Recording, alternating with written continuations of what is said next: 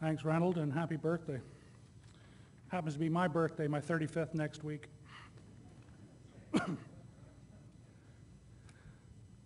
So our next presenter, and our first uh, presenter is uh, Dr. Delia Roberts. Do- Dr. Delia Roberts is going to speak on nutrition, hydration, and safe movement. Delia Roberts holds a PhD in medical science and a fellowship in sports medicine. She comes from a background in sports science. Her thesis research was the cornerstone of the alt- alt- altitude training program used by many of the Canadian uh, top athletes, including numerous Olympic medalists. Over the past 15 years, Dr. Roberts has brought the award-winning expertise from exercise science to the field of worksite wellness by conducting research into the use of physical training and nutritional education for the reduction of occupational injuries and enhanced productivity. So let's put our hands together for Dr. Delia Roberts.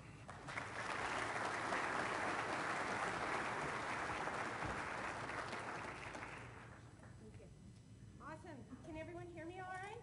Yeah? I'll use my mum voice. Um, it gives me great pleasure to be here today. It really is an honor for me to be invited to speak at an event like this. It's wonderful to see such a crowd. Um, what you'll find out is that I'm absolutely passionate about what I do. And so um, this is a gift for me because I get the opportunity to stand up here for an hour and tell you about something I really love. And you're not allowed to get up and run out. So you have to listen. Anyhow, um, I've been working in the forest industry for quite a few years, um, but my, my philosophy about it is that each and every one of us has the ability to grow, as Reynolds said. And giving you the information that comes from this huge body of work in sports science allows me to show you the way to perform like an athlete does. And so I've used this phrase, the occupational athlete. But performance, in this case, is not just a case of staying safe. Uh, it's a case of each individual achieving the most that they can achieve. So we all know that we've been working on safety for a long time, right? And we have made a huge difference in the industry. Each and every one of you has obviously made the effort with your employees, with your own life, with your family, to take good care. Oh, where's my presentation? There we go. Okay. So what we're looking at now is finding some new ways to move ahead and keep uh, an advance happening. My background is sports science. I worked for 15 years coaching people like these athletes. And it gave me an opportunity to look at how can you make this individual find the last little bit of percentage inside them. They're already working out for six or seven hours a day. How are they going to add more on to keep their performance moving ahead? When you look at it, each and every individual in the workplace, you have a little bit of a different situation, and yet there are a lot of similarities. For this individual, if he's stronger, if he's more powerful, he's going to be able to do his job better, not just here at work, but to have a life outside that's fulfilled and he's able to enjoy his family and the rest of his life. So the flip side of performance is health, and there are a lot of things that will advance performance that also advance health. But many of us don't believe that anything bad is ever going to happen to us, right? It's pretty easy to say, okay, well, I'm carrying a few extra pounds, but uh, it's not really going to make a difference to my heart or my lungs. So how do you get this person to pay attention to the fact that they're no longer able to get down on the ground and play with their kid? Telling him he's going to have a heart attack in a few days may or may not convince him. But telling him that when he gets in that truck and he drives that truck down the road, he'll be a better driver will grab his attention. So from there, we go into injury prevention because if you feel better, you're more alert, you perform better, and you do your job safer.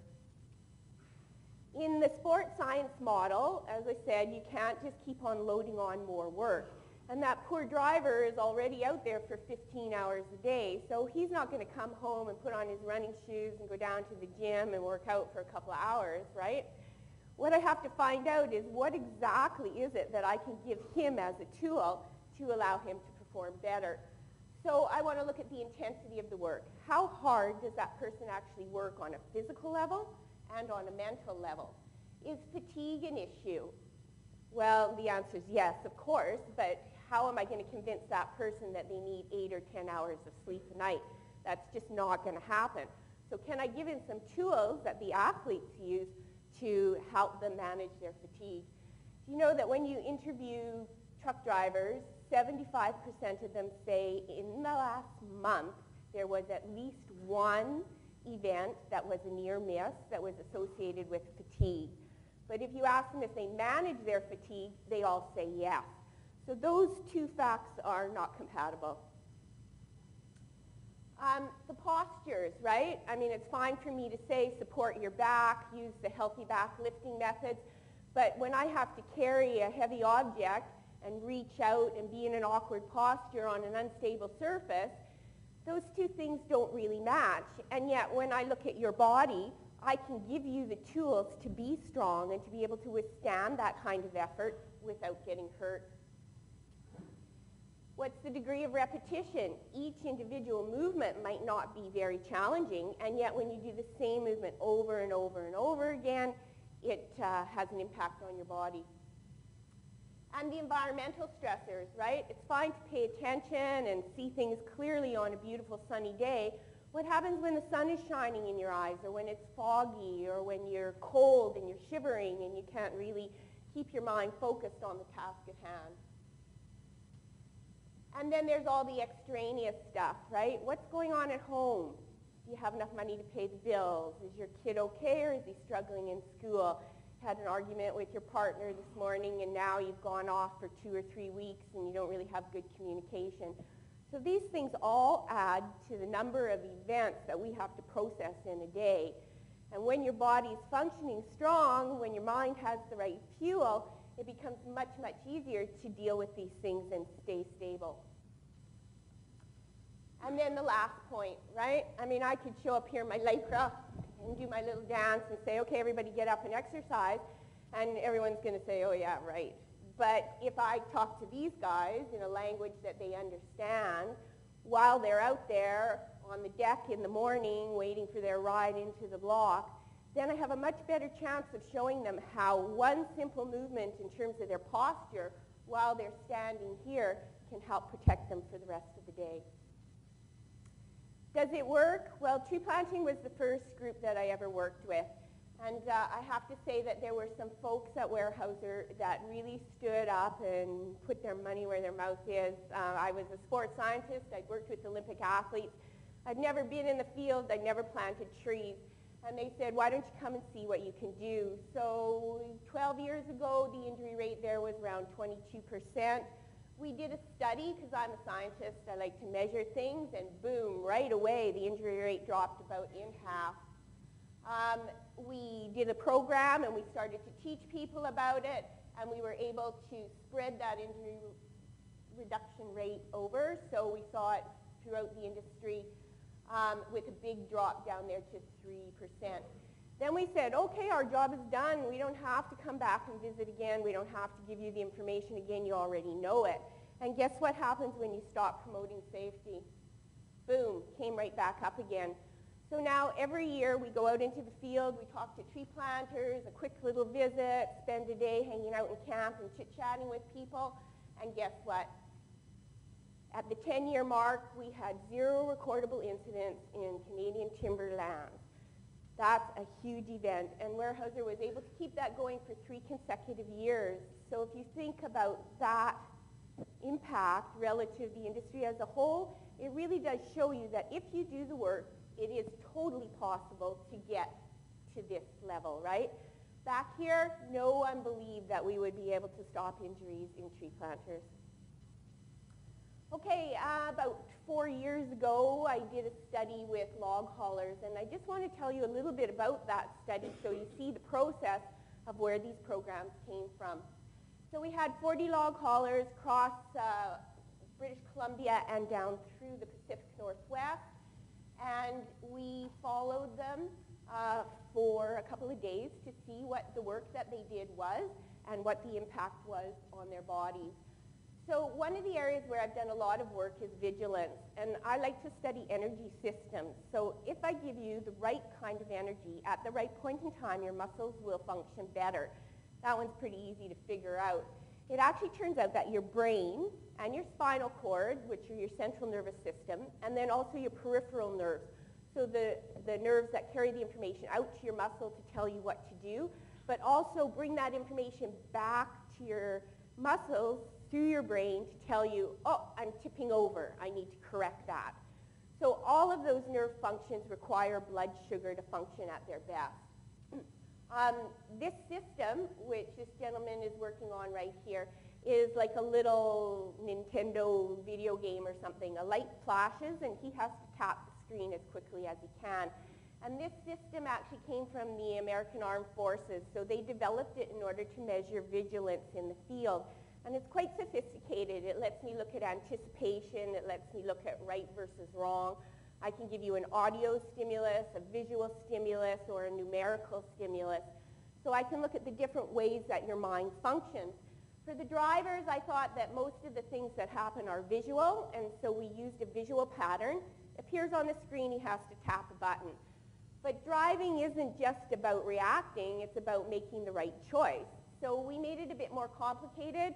A pattern comes up, it disappears, then some random period of time later, two patterns come up, and you have to make a decision. Can I match the previous pattern? If it's the first image that appears, I hit one button. If it's the second image, I hear another button. And if it's not there, I just have to do something different again. So it gets quite complicated, and it measures your executive function, how you see information, how you interpret it, and how you make a decision based on that. It only takes about two minutes to run, so I can do that periodically during the day and look at how a person's vigilance or their ability to stay alert and pay attention changes. Okay, so remember that the only fuel that that system can use really is blood sugar. In very long-term starvation, you can adapt. So diets like the paleo diet or the Atkins diet, and is there anyone in the room here who restricts their carb intake? Yeah? So the problem with that system is that this requires sugar in order to function at its highest level. In a very long-term starvation state, you will adapt to burn a byproduct of fat metabolism that's called ketones. And ketones are what make you sick when you have a hangover. So now I'll ask, has anyone in the room ever had a hangover? Yeah, you know what that feels like, right? So when your brain isn't getting the fuel that it, that it needs, you feel nauseous, you can't concentrate, you don't pay attention well, you feel sleepy and fatigued. All of those things are a problem especially when you're trying to perform at work. Okay, just to remind you, what is a sugar? Sugar is the simplest form of a carbohydrate. Because it's in its simplest form, it really doesn't require any digestion. So it's absorbed from your stomach into your brain very, very quickly. Who chose the cinnamon buns this morning? no one's going to put their hand up. So different amounts of sugar in the cinnamon buns than in the muffins and the bread and the scones.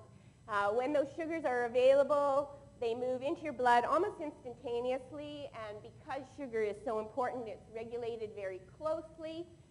If you're at rest, as you are this morning, and your blood sugar rises very quickly, you will release the hormone insulin, and it moves the sugar from your blood into storage, turns it into fat. We don't have the enzymes to take it from fat and turn it back into sugar. So it will stay as fat. Now, if this guy goes and runs a marathon, he'll be able to use that to fuel his run. But the problem is, is that his brain and his spinal cord and his reflexes are not ever going to be able to use this fuel again. Now we have to be a bit careful because some things that we think are healthy actually contain almost as much sugar as a candy bar. So one of the educational things is to talk to people about what do you like to eat and how can you satisfy those needs looking at a way that will keep your blood sugar stable. If I can keep your blood sugar stable, I can prevent the fat storage. And boom, guess what? They lose weight. Okay, in the trucking study, I jumped in the truck, drove around with the guys, and every two hours we measured their blood sugar, and they did this little um, test for vigilance. The blood sugar test is just like diabetics use. It's just a single drop of blood, only takes a second. We also measured all kinds of other things. So that device is a, a heart rate monitor, but it also includes a very similar recording system as the um, fatigue monitoring watches. So it's a triaxial accelerometer and it measures movement in three planes so that I can assess their workload. On day two, we jumped in the truck. They drove a similar route, similar weather, similar conditions. But this time I had this nice bag of goodies, and every two and a half hours or so I said, eat this. I didn't ask them if they were hungry. I said, do you want something sweet or something salty? Do you want something crunchy or do you want something smooth? And out of my bag I produced something that will taste good, uh, but it meets my requirements in terms of stabilizing blood sugar. So the guys were pretty happy about that. They had a lot of fun. The first thing that I found out was that five out of the 40 had serious enough health risks that required immediate medical attention. A normal fasting sugar runs about 5. I had three guys with values over 25. And when I asked them how they felt, they said, oh, I always kind of feel like this. I was like, well, I think we can do something better about that. Interestingly, there was a study that was done in the United States where they set up at truck stops and all they did was measure blood sugar and they got exactly the same percentage of undiagnosed diabetics. What's the problem here? Well, when you sit in a truck all day long, you don't expend very much energy. You might feel very fatigued because the hours are long and your brain is working very hard, but your body doesn't have a very big demand. Um, and the diet really wasn't very good. Everyone recorded what they ate for three days, plus I followed them along and wrote it down to make sure that they were actually telling the truth. So what you find is that the fat intake is about three times what it should be. Simple sugars, two to three times what it should be. Very high intake of salt, which is problematic for people who carry extra weight, and uh, a very high intake of alcohol. Not a single person in the program was drinking enough water, getting enough fiber, and lots of vitamins and minerals that were low. So big deal, right? I'm not going to have a heart attack because I've lived this way my whole life and my father lived this way his whole life and that's just the way that it is. So this is what reaction time looks like when you're eating the truck driver's diet. And it takes about a third of a second, slightly more than that, to react to an unexpected visual stimulus. So this is straight reaction time. Guess what happens when you stabilize blood sugar? That's about a 15% difference. In some cases, it was as much as three quarters of a second. What's the big deal about that? Well,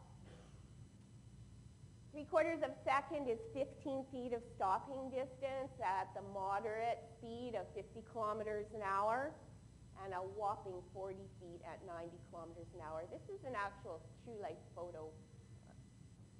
Yeah, pretty interesting to see what happened in the next second, hey? If this guy driving this vehicle has three quarters of a second more to see what's going on, if this guy has three quarters of a second more to see what's going on, do you think he's going to keep that vehicle on the road? much, much greater chance of it. This is another graph showing you blood glucose this time. So this was me actually taking a drop of blood and measuring it. And there are three different groups, but it doesn't really matter because they all look sort of the same. This is a more active population. So they came in fasting, and they are nice and healthy here. This is a young population, pretty active. Um, then I told them they could have breakfast, and mm, those cinnamon buns smell good, right? So blood sugar rises very quickly. Because it rises quickly, we release insulin because they're at rest, and boom, the insulin moves the blood sugar out of the blood into storage.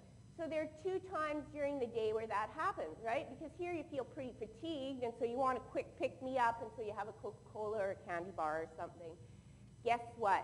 I took 5,000 data points, 70% of the injuries were occurring in two hours over a 10-day hour, uh, sorry, a 10-hour day.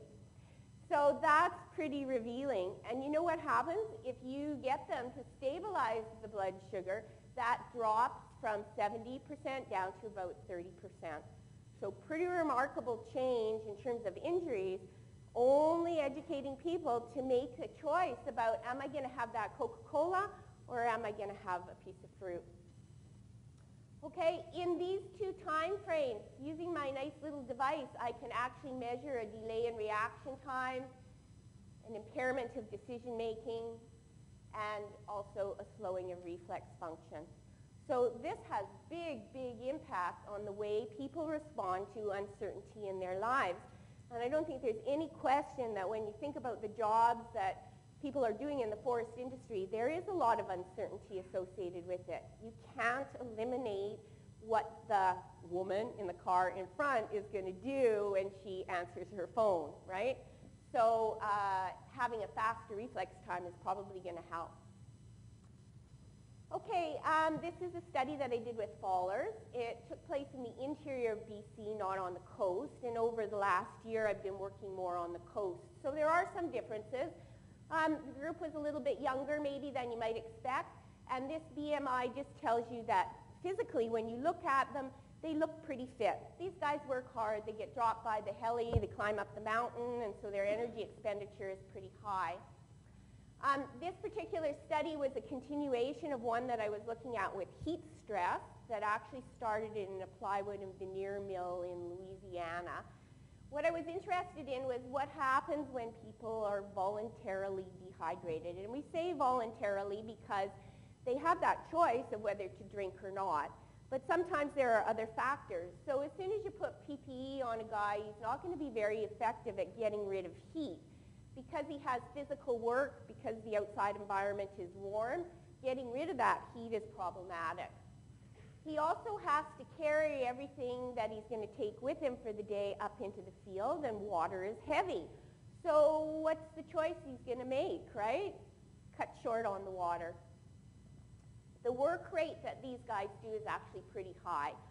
So with the heart rate monitors, with the activity monitors, there were six to seven hours of heart rate over 100 beats a minute. Now that might not seem like too much because right now you're probably running around 90 and I'm a little nervous so my heart rate's probably a little bit higher than 90 right now.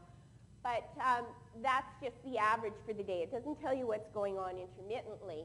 When I look at energy expenditure, what it's telling me is that a good portion of that time is actually spent at a very high rate.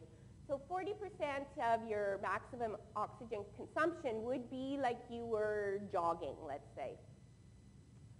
Um, it costs about 225 kilocalories per hour to do that and a whopping total of upwards around 1500 for the day. Now that's not food intake that's necessary to maintain your weight.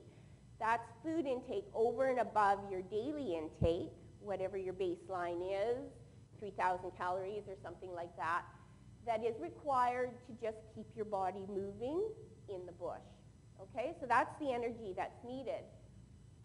Um, the study was a heat stress study. I was told that temperatures are very warm in the interior of BC during the summertime, and look what happened the year that I was there, right? 13 degrees in August. So it really wasn't very warm.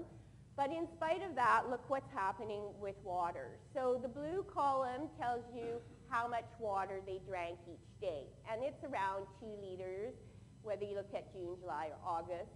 The uh, mauve or purple is the sweat loss. So I actually went in there and collected sweat samples from these guys.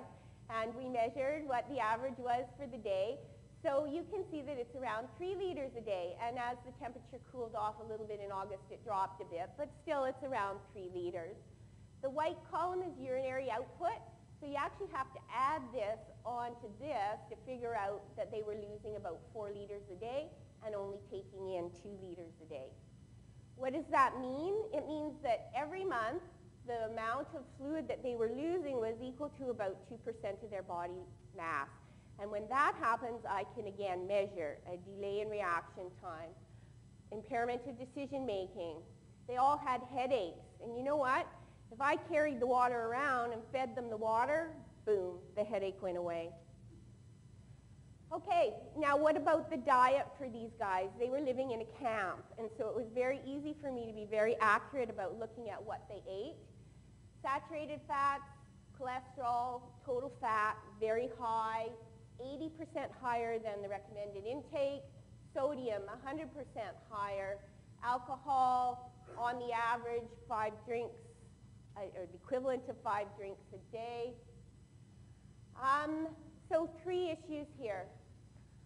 Cholesterol, over the three months of the study, increased by 10%. So I actually took a blood sample every month and looked at what was going on inside their blood. And this is a blood vessel in a heart. It's supposed to be this big. This is all fat that is inlaid on top of that blood vessel. That's atherosclerosis. You can see that the ability of this vessel to carry blood is severely impaired. Total triglycerides increased by 55%. So three months of living in a camp, eating a camp diet, even though they had such a high energy expenditure, problematic. So it's not just giving calories, it's what kind of calories are you giving the person. Because when you look at their blood sugar, even though they had all that fat and all that simple sugar, look at what happened. So every sample that I took during the day was well below fasting. Every sample that I took showed an impairment of reaction time, an impairment of the ability to assess a visual stimulus, an impairment of the ability to react to an uncertain situation. So how important is that for fallers? Okay, the solution is really quite straightforward. We can improve your concentration, enhance your reflexes, improve your fatigue level, and improve your health, and have an impact on the injuries and accidents. How do we do it? We have to feed our brain, our spinal column, our peripheral nerves the fuel that they need at the right point in time during the day. And carbohydrates are really the key to that. Every time you do something big, heavy, fast, large, strenuous, you have to burn carbohydrates. Fats are big, complicated molecules, and they take a long time to break down. Right now, you're probably running about 75% fat.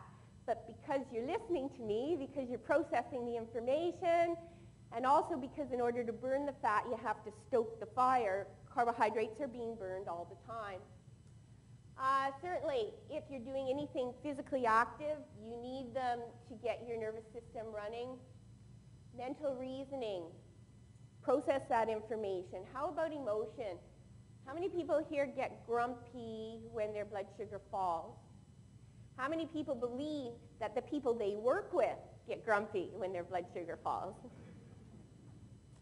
Nice thing is that carbs are easy to digest, right? So it's a simple solution. It's really easy to fix.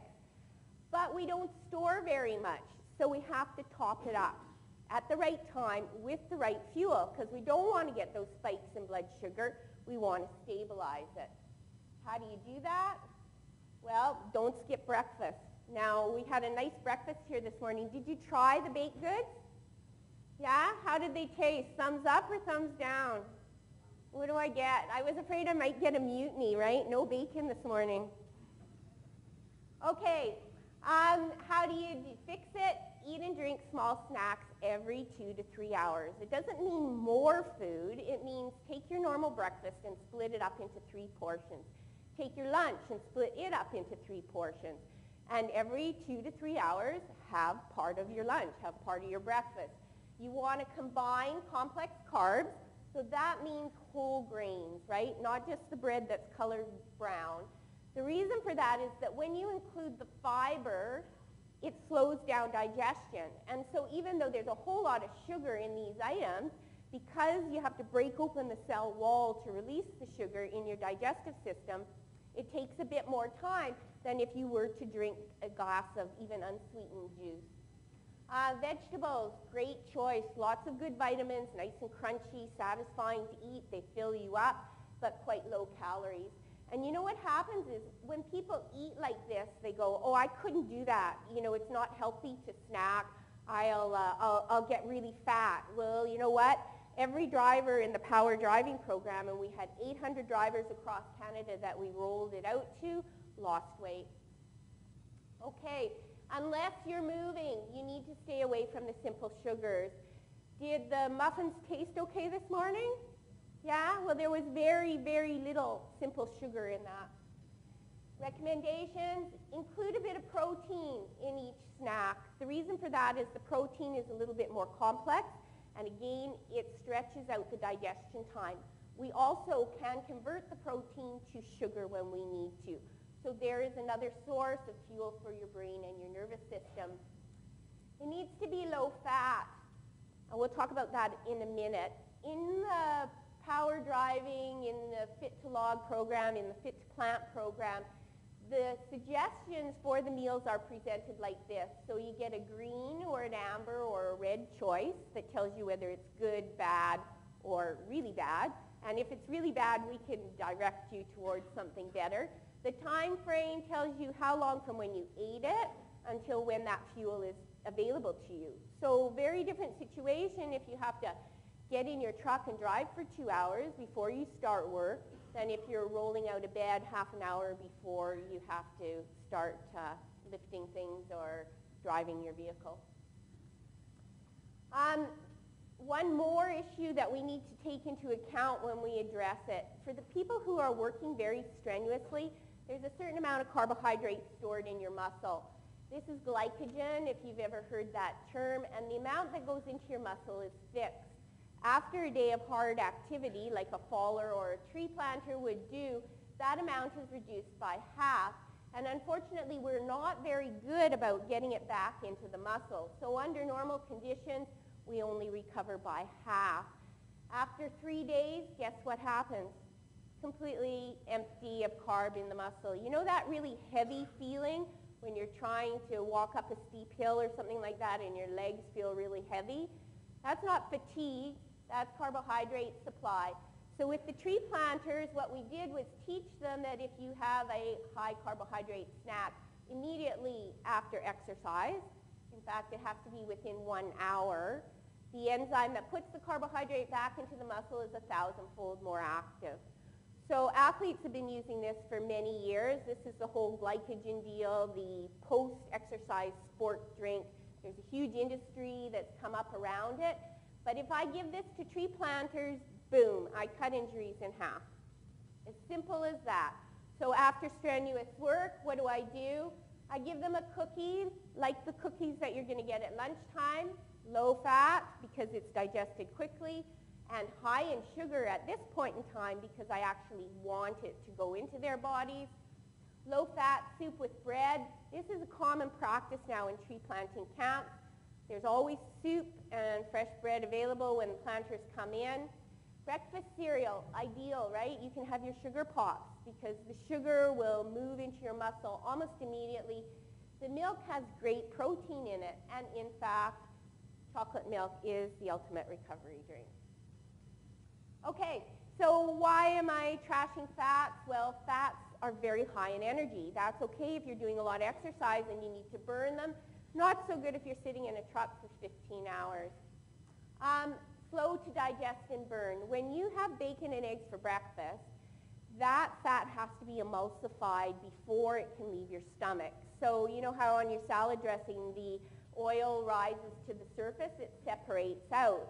When you shake it, it mixes into little droplets. So that's what has to happen with the bacon before it's going to move into your bloodstream. It takes three to four hours. And so that is not going to happen for that full period of time after you eat it. Now there are some very important nutrients in fats, and so we want to make sure that we do get those nutrients, right? Healthy fats in olive oil, in nuts, and in cold water fish. And here I am in Nanaimo, and guess what I had for dinner last night? Um, so you need to be eating that, but the question is when? Do you have time to digest it? And if I eat a high-fat breakfast, how long is it going to take before that fuel is available to me? So we need to make it work, right? At certain times during the day, this is advantageous. At other times, it's not. Complex carbohydrates, add the grains back in, very important to slow digestion down. Add some protein, you stretch it out into two hours. Add some fats, you're looking at three to four hours. So that's the power driving program. Now you guys can take that home with you. Give it a try. It's pretty easy to teach someone how to do this, but you have to remember that it is your choice, right? What are you going to decide to eat, and why are you going to eat that? This might feel good right now, but you're going to have a headache at the end of the day. You won't have the energy to do what you want to do. And perhaps most importantly, that fuel won't provide your brain and give you the best ability to make those good decisions. Water has a very similar effect, right? The heat stress study, I did that particular work together with um, all of these groups, in particular the mill workers, and um, the, there was a big study with the fallers as well, looking at the hydration. All of these groups really and truly do have free access to fluid, right? You can make a decision about whether you're going to drink or not. And interestingly, the average was less than three quarters of a liter of water during the day. That doesn't include coffee, which is a different situation. So every single one of those groups approached the level where dehydration impacts concentration. Do you think that would be important for a physician? Yeah, before I had my knee surgery, I said, did you eat breakfast this morning? Did you have anything else besides coffee to drink? Because I wanted my physician to be making the best decisions possible. For a faller going out in the field, he's just had a brand new baby, important for him to make good decisions too. How do you do it? This is sad, isn't it? Yeah. So the problem with alcohol is that alcohol is dehydrating, and especially when the guys come back into camp and they start drinking right away, um, they are going to be pretty dehydrated by the next morning. All of this research, by the way, has been done with NCAA athletes in the United States. And you know how much beer they drink on average in a year? 40 gallons of beer. Yeah. Um, but they have to train for it, right? When you consume more than the equivalent of four drinks of alcohol, you are dehydrated by about a liter. And that's because the alcohol acts on your kidneys. It impairs your ability to take water up for as much as a full week. So after binge drinking, the risk of injury is increased for the entire week. Now, what do you do about it? You teach people because I know that there is no way that I am really going to be able to stop this, right? I can educate, I can talk, but it's part of the culture. So what am I going to do? I'm going to provide people with the information on the impact of it and then teach them how to stay hydrated. If they have been binge drinking and they don't want this to happen to them, if I give them the tools to prevent it, it's pretty simple. Most of the time, they're going to actually do it. So the recommendations, stay away from soft drinks, small sips regularly. When you drink a whole liter of water, it moves from your stomach into your bloodstream as a unit, and your body goes, whoa, too much water. I need to get rid of that. But if you drink the water in small sips, it doesn't dilute your blood and it stays in your body much better.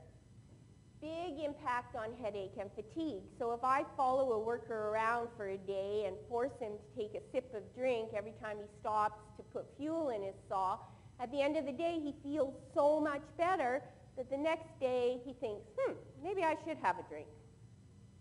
Um, electrolyte beverages. So the two heat stress studies actually were funded by Quaker Oats through the Gatorade Sports Science Institute, which is an arm's length group that funds research into heat and hydration. So these guys actually swallowed little capsules that measured their core temperature, and we looked at the impact of the heat on their bodies. Certainly in the mill in Louisiana, we had quite a bit more heat than it turned out that we did in um, Revelstoke in the summer. So big heat challenge for these guys, very high humidity, and you can see this is how we collect the sweat. You dry the person's uh, sweat off and rinse it, because we are also looking at salts in the sweat. And then you attach an absorbent pad and cover it with plastic and time a very specific period of time. And we have seven sites on the body that we do this. Plus, they had swallowed the little temperature capsule, so I could walk around behind them and see what their core temperature was based on how much they were sweating, how much they were drinking. Okay, now that's one side of the whole program, the nutrition, the hydration. How do you get people to have the right energy at the right point in time? The other side of it is what goes on inside your muscles and your joints. So this is a knee joint, and you can see that it's a very shallow joint. It's not really a great design. These little things here are the ligaments. They go bone to bone. And they're sort of a little bit stretchy like elastic bands, but they don't really have a lot of tensile strength. So the only way we can support this joint is by layering muscle over top. those muscles, the deep muscles, are designed to contract quickly when load increases and stabilize the joint. But previous injury, pain, fatigue, vibration, low blood sugar, dehydration, all of those things impair the way the nerve reacts. Fortunately, it's pretty easy to fix. So at this point in time, I have to ask somebody to be quite brave, right? And would you mind jumping up here and we're going to do a few little demos. It would be great if it was someone who had back pain because I'm going to take you through the steps on how to fix that. Anyone willing to come up? Don't be shy. I promise I won't bite. Excellent. Thank you so much. Let's give the gentleman a hand. Okay, so while he comes up, I'm going to tell you that there are different kinds of reflexes. The muscle stretch reflex responds very, very quickly. When it's working properly, it's only 5 milliseconds. So let's see how his reaction time is this morning. Can you stick your arm out for me? Hold it rigid. Don't let me move it, okay? Watch what happens. Excellent. Do you see how when I push, his arm jerks up? So I gave this muscle a quick little stretch, and his arm jumped up. Thank you. You can put it down now. Okay, good. So I need to go back to the slides here. You'll see that the tendon pressure is slower. Yeah, awesome. Good flexibility. So if I give him a push, if I give him a push as I impart force into his shoulder joint, right, his shoulder is going to tighten up to withstand that force, but it takes longer than the muscle reflex. Still pretty fast. If I give him a big push, right, you jump and land, the force in your knees isn't going to reach its peak until 50 milliseconds. And sadly, if you feel any pain, the game is over, 500 milliseconds. So that's problematic. Now, if these things are working properly, we can avoid this. And so we're going to see whether we can sharpen him up in order to prevent this. In other words, we'll get him to react faster. Okay? So we can stabilize those joints. How do we do it? Well, first of all, we have to readjust his load. So if you look at his spine, what I'm going to do here is help him figure out how to get these little stabilizer muscles to contract before the prime movers. Because if the prime mover contracts first, you can see how it pulls everything off kilter and there's a lot of force on that poor disc inside his lower back. Do you have back pain? No? How many people in the room have low back pain? Yeah, you know, it does all depend on what you want to do with it. So we actually want to be able to move and use our bodies, right? Okay, so if I get him to activate his core muscles, it provides a nice solid band around. But now he's going to hate me because, whoops, sorry, we're also going to teach him how to activate his pelvic floor, and that will really and truly stabilize him. And he's going to do all this up here in front of you. So first we want to look and see what his spine looks like, right? Okay, so I'll just get you to turn sideways to the audience and put your arms down at your sides. So the normal spine has two curves, right? In the upper back, it's a nice outward or convex curve. In the low back, there should be a nice inward or concave curve. And he looks pretty straight there, right? Pretty flat. So we'll just turn you this way and let the audience on this side see. See how there's no curves in his back? The other thing that you can see is that he either drives a truck or looks out a window or works at a desk for a living because see where his head is in front of his shoulder. So ideally that would all be lined up and we could take the stress off here. All right, how do we fix it? We only have 10 seconds. So I'm going to ask him to imagine that there's a string tied to the top of his head and I'm going to pull up on it. so I want you to lengthen through your spine. Okay, can you grow to touch my hand? Oh, look at that. Beautiful. Look at the curve here. We have a nice outward curve in the upper back. Do we have a little bit of curve here? Not quite yet, right? So we'll turn you around this way. Just go to your nice relaxed posture. There we go. Okay, if we attach the string to the top of his head and pull up, what happens? Look at that. And now when I put my arm here, he's almost lined up, right? He could come just a little bit taller. There we go. Now we don't want the military posture which is good that you did that because that's what everybody does. And when you do that, you can't really take a deep breath or rotate very well, right? So we need it a little bit relaxed in here, and he's done it automatically, and you can see he has a bit more curve here. So we got to fix him yet because this is still pretty flat, and he's a typical male. Yeah, he's leading with a certain part of his anatomy. I don't know why guys do that. As women, we tend to do the opposite, right? We stick our butts out a bit, advertise a little, but it doesn't matter. We can fix it either way. So what you need to do, and we'll do this after lunch, we just get you to check and make sure that your hips are not tilted forward or back. So what I'm going to get you to do is put your hands on your knees. That's good. And give me a camel stretch. Can you stretch up through here? Hollow in here. Yeah, there we go. Doesn't that feel good? Awesome. Now go the other way and push here. Stick your butt out. Lift your head up. Oh, oh, no, no. Yeah, and push down here. Can you make this flat for me? Stick your butt out. There we go. Okay, other way. Stretch up. Yo, camel back. Head down and hollow in here. Yeah, okay, so there is a bit of a difference. Can you see that difference? Now he's sort of rounded here and really stretched up, and then he's going to flatten. Stick your head up and your butt out again. The cat-camel thing. Yeah, there we go. Okay, so when he does that, thank you. If you just watch me, right? When I go like this, see how my hips tuck underneath me? And when I do the opposite, my hips tilt outward, okay? So round up, they tuck under, and stick it out, they go the other way. So I'm rocking my hips back and forth. So we're going to get him to do that now. We can put a little music on too. Stand up for me. Yeah, you're awesome, thank you. Okay, you just stand sideways so they can see your back, okay? Oh yeah, that's right. Remember that posture? Okay, that's good. And now, can you just rock your hips a little bit, like a little bit of a pelvic thrust? Remember the cat-camel feeling, forward, back? Yeah, but you need to stay standing up. Yeah! Oh, he's got it. Okay, stand up for me. Stand tall. That's good. And look at his posture now. We have a really nice curve here. So it doesn't take very much to fix it, but I can still move him, right? So if you go to your relaxed posture, just feel this, okay?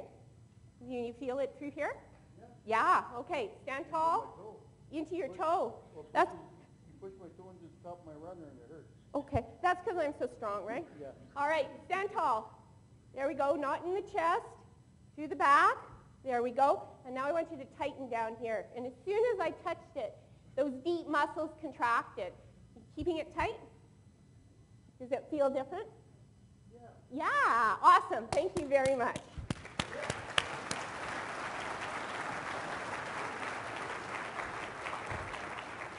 Okay, so the key here is that you have to find that neutral posture first.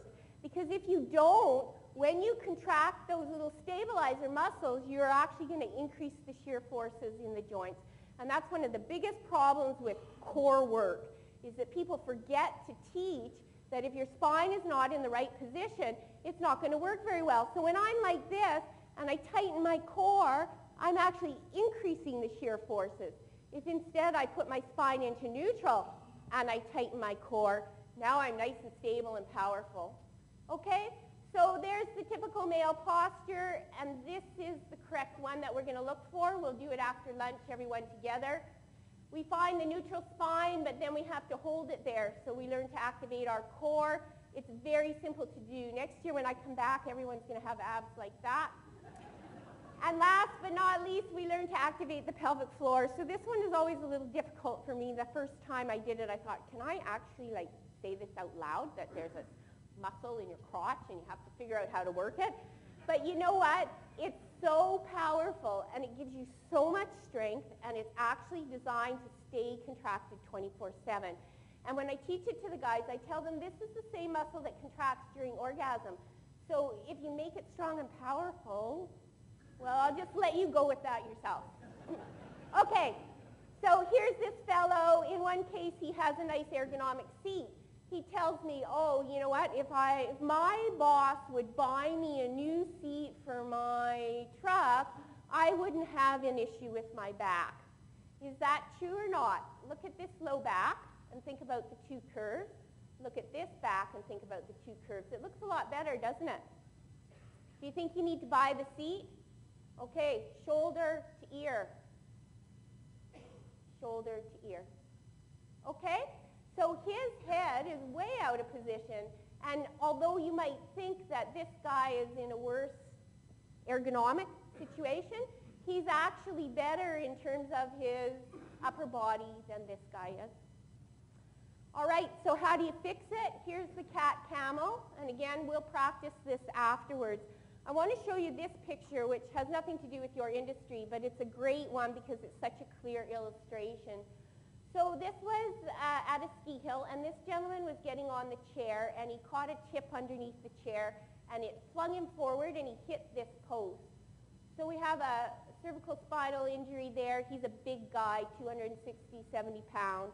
He was down in the hole underneath the chairlift, so it was very awkward to lift him out of it, and he's on the spine board.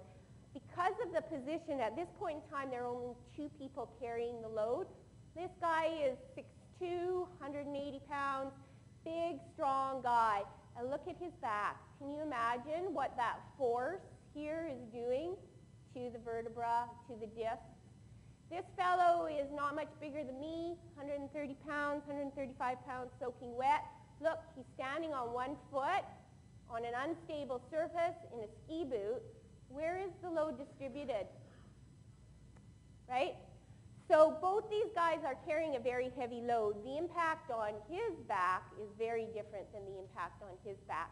Now he's not thinking about his back right now, but because he's practiced that movement, he goes into his neutral posture, which is where he's supposed to be. And that's how it saves you. It doesn't save you when you're thinking posture. It saves you while you're walking in the morning and you slip, right? And the load is transferred properly. Okay, does it work? Well, do you think I can get drivers to actually do this? I don't know. But in the 800 drivers that we looked at, it was very effective. Why was it effective? Because they felt better at work. They actually performed better doing the tasks that they love to do. And believe me, people wouldn't be out there in the woods if they didn't want to be. Decrease in pain, a huge impact on your life. If you have chronic pain, if your neck always hurts and you take that away, all of a sudden you have more energy and attention for other things. And what about your time that you have off, right? Which you don't have a lot of time off, but wouldn't you rather be doing something fun with your family in a positive way, not being dragged down by these things than in another situation? How do you get more information? This is the Fit Plant program. The whole thing is available on the web. Uh, there's a Facebook page where during the season I post tips and fun videos and recipes and all kinds of good things. And you can download these manuals, courtesy of Selkirk College here at this address. Um, the Western Silviculture Contractors Association has started a series called the Desperate Planters. So each year we're doing one more little PDF that you can print out yourself. It's a trifold. So there's one on fitness, one on wrist and elbow tendonitis, and one on the back. Uh, no, sorry, the knee. And this year we're working on the back. Uh, the Power Driving is a program which is designed for people who are not very physically active, so the drivers and the equipment operators. Part of the program is available at the college. These are the two manuals for the Power Driving, and this is the one we have just completed. So this is for the active lifestyle, not just for fallers, but also for forest engineers and chokermen and all kinds of different people. Um, not much of this is available on the web yet, but we are working in that direction. What you can get is download a series of posters. So there's one on hydration, one on staying vigilant, how do you choose what you eat, uh, looking after your back, and this is the exercise we're going to do after lunch, and uh, releasing neck tension. So if we have time after lunch, we'll do that as well a quick little one for drivers, anybody who looks through a windscreen, anybody who sits at a desk, and also the fallers. Okay, so this is interesting because, because Reynolds spoke about leadership, and I thought, aha, you know what? I put that slide in there too. Because you guys are the leaders, and when you believe in this, it transfers through much, much more clearly. So if you were to have a meeting with your staff and you were to tell them about staying vigilant and eating properly and you serve donuts, What kind of message does that send, right? So there I was at one of the trucking companies and I spoke right after lunch and I put up my slide of vegetables and this dude in the front row who weighed 350 pounds made eye contact with me, picked up three of those great big huge chocolate chip cookies, the really greasy ones, and ate all three, right? Building that culture takes some effort and you have to demonstrate that it is going to make a difference. If you're grumpy after lunch, or you didn't eat lunch because you were too busy and too important to take the time to do it, guess what? You're not really showing the people who work for you that there is an alternate. Right? If you value your people, and I'm sure every single one of you values your people, no one wants to go to the family and tell them, I'm sorry, he isn't coming home tonight. Lead by example. I can't demonstrate that enough. If you yourself are not getting some exercise, if you're not eating well, send me an email. I would be glad to help. And I mean that wholeheartedly. It's actually pretty easy to fix if you know how to do it. Um, the guys who work for you are in the bush because they don't want to be told what to do, right? Yeah. So education, how do I educate? By telling them that they'll do their jobs better if they give this a try. And it takes time, usually about four years, but one person will try it, and then Mr. Kudgerman is going to look at it and go, hey, he actually looks better than he looked before. He's smiling today. He's not in pain. What is it that he's doing? And I'm going to try it too. Okay? So it takes a long time. I don't know. I, I actually was driving down the road the other day and I saw um, a logging truck go by and the guy had a uh, bike, bungee corded to the front, a mountain bike, and I thought, I need a photo of that, but I wasn't quick enough. All right, according to the people who investigate accidents, 87% of crashes involving truckers stem to some degree from driver error, and the Federal Transport Agency says the same thing, right? Helicopter pilots, uh, airplane pilots. 12% of them were because of fatigue, health, diabetic shock. Um, the insurance companies, and actually this year for the first time I'm delivering some programs to a couple of large insurance agencies, they say that's 25%. So if you could decrease this by 87%, by 25%, that would be very, very powerful. So thank you so much for listening to my antics this morning. And um, let's all make sure that we all go home safe.